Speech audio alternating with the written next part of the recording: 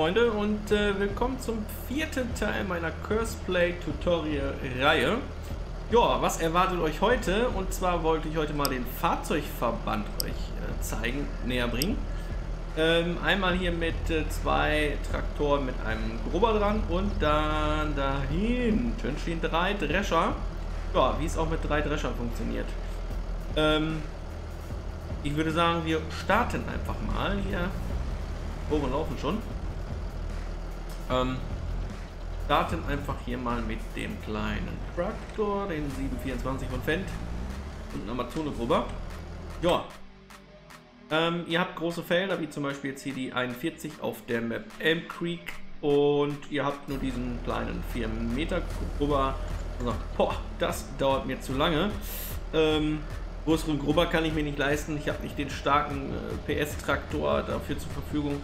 Aber ich habe nochmal einen Traktor in der gleichen PS-Kategorie und äh, eventuell nochmal einen Grubber über oder Geld für einen Grubber über.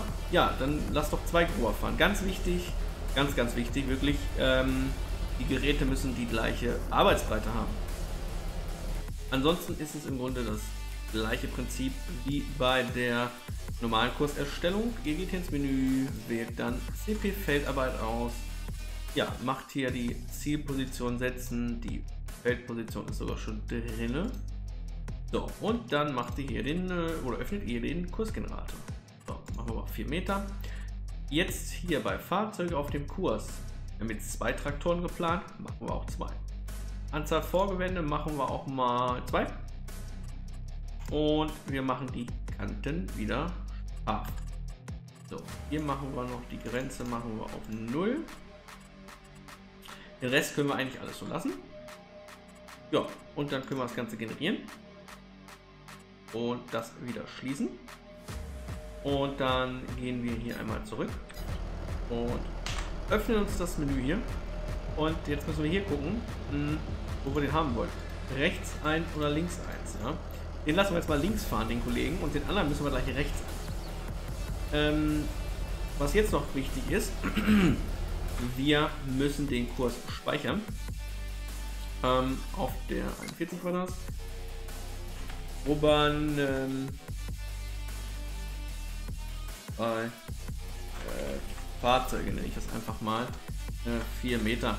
Einfach jetzt nur mal ähm, ja, fürs Tutorial.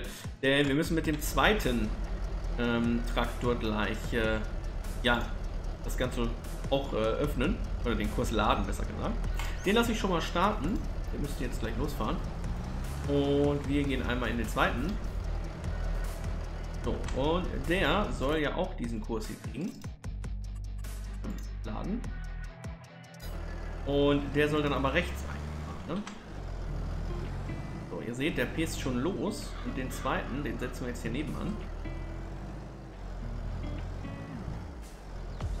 Und machen im ersten Wegpunkt Start. Der fährt jetzt rechts, der andere fährt links von der Linie. Und ja, jetzt gucken wir dem mal zu. Das war's im Prinzip auch schon. Ne? Guck mal da vorne, der macht schon die Ecke. Dann mal gerade hier. Da wollte ich hin. Wenn ich jetzt alle Wegpunkte mache. Ihr seht, normalerweise fährt das Fahrzeug direkt unter der Linie, wo die Wegpunkte sind. Jetzt fährt einer links und einer rechts. Haben wir so eingestellt. Müsst ihr beachten. Ja, guck mal, so einfach kann man den Fahrzeugverband aktivieren, sag ich mal. Einstellen, ja. Ähm, während die zwei jetzt hier ihre, ihre Runden fahren, sag ich mal, machen wir das Ganze doch nochmal hier mit, mit dem Drescher und dann machen wir mal drei. Auf Feld 2 und 4. Wir gehen auch wieder hier ins äh, aktive Helfermenü, Job erstellen, gehen auf CP-Feldarbeit, wählen hier einfach mal auf der geraden Strecke die Startposition. Achso, jetzt habe ich in verkehrter Richtung, da stehen diese. Das ist aber egal. Dann lassen wir sie einfach mal entgegengesetzt fahren. Können wir auch mal einstellen. Äh, drei Fahrzeuge. Vorgewände machen wir mal auch zwei. Scharf und wir machen mal gegen den Uhrzeigersinn. Da machen wir auch. Aber generiere. Ähm, ne, Vorgewände machen wir nur eins. Weil wir mit drei Drescher unterwegs sind. Und dann zurück. Und ähm, wir speichern den Kurs auf der 42. Äh, dreschen drei Fahrzeuge. Einfach nur, weil ich den ja gleich brauche für die anderen beiden. Ähm, so, da können wir jetzt nämlich nicht nur links wählen, sondern auch noch Mitte und natürlich auch wieder rechts. Den ersten lassen wir links starten. Machen wir am ersten Wegpunkt. Los geht's. Ähm, ich will die Fahrzeuge auch nicht so schnell hintereinander starten. Denn, ähm, denn äh, die brauchen ja auch ein bisschen ähm, Platz, ne? Und den machen wir Mitte. Zack. Und dann haben wir noch einen, den machen wir dann rechts. Ähm, nicht, dass die sich dann ins Gehege kommen. Ne? Ich hätte jetzt auch den ersten rechts einsetzen können im Grunde. Ne? Das kam jetzt durch links, weil ich die jetzt äh, verkehrt rum im Grunde. Ich wäre jetzt hier rumgefahren in die Richtung. Ne? Also nach hier rum. Dann links wäre der erste außen gewesen. Ne? Das habe ich jetzt nicht bedacht, weil, weil wir jetzt ja im äh, Uhrzeigersinn fahren. Aber weißt du.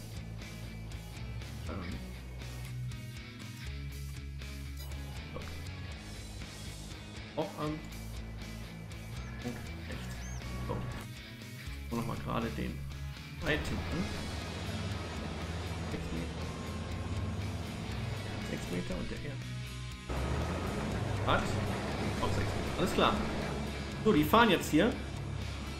Sieht jetzt ein bisschen komisch aus, weil ich, wie gesagt, im Gegensatz vom Uhrzeigersinn die habe fahren lassen.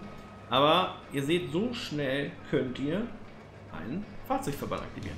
Ja, guck, weil der erste jetzt hier die Kurve macht, Ecke dem, im Rapsfeld, äh, muss der zweite jetzt schon warten. Deswegen startet die nicht zu schnell hintereinander, sonst habt ihr Stau und ein Problem.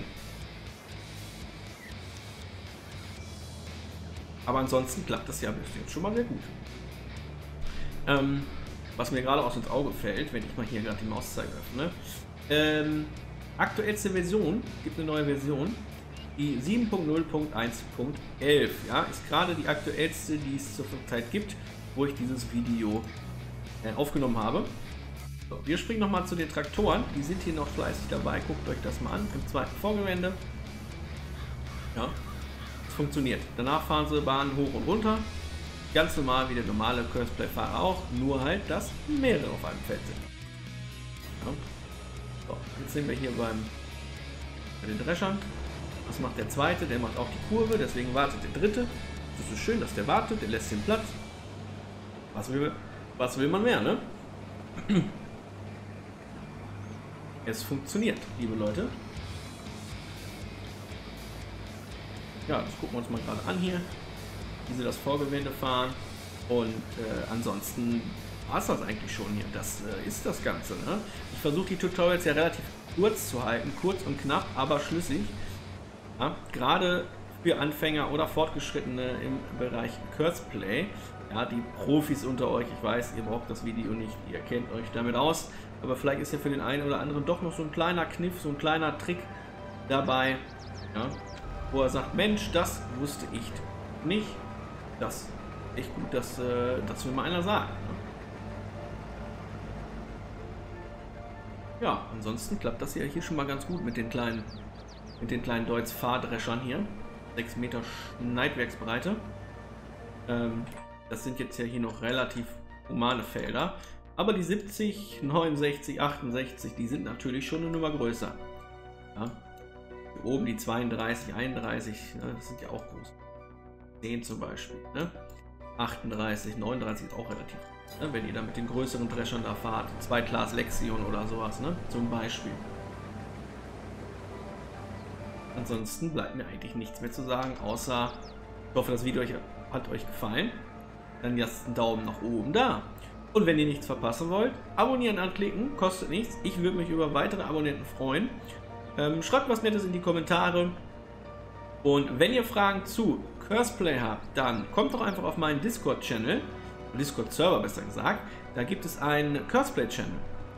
Äh, Curseplay Support nennt sich der. Da könnt ihr Fragen zum Thema Curseplay stellen und die Community hilft dann oder meine Jungs aus dem äh, Curseplay-Team oder meine Wenigkeit sogar persönlich. Ja? Deshalb meldet euch doch da einfach mal, wenn ihr irgendwelche Fragen habt oder ähnliches. Äh, gibt auch sonst noch nette, lustige Sachen da, jede Menge Channels zur Verfügung oder man quatscht einfach mal zusammen. Der Link dazu ist unten in der Videobeschreibung. Genauso wie der Link zu äh, Twitch und Instagram. Wenn ihr mir da mal ein Follow lassen wollt, gerne könnt ihr dieses tun, ja? Ich poste da hin und wieder Bilder, tolle Stories und vieles mehr. Ansonsten vielen, vielen Dank nochmal, macht's gut, bis zum nächsten Teil der Cosplay Tutorial Reihe. Tschüssi!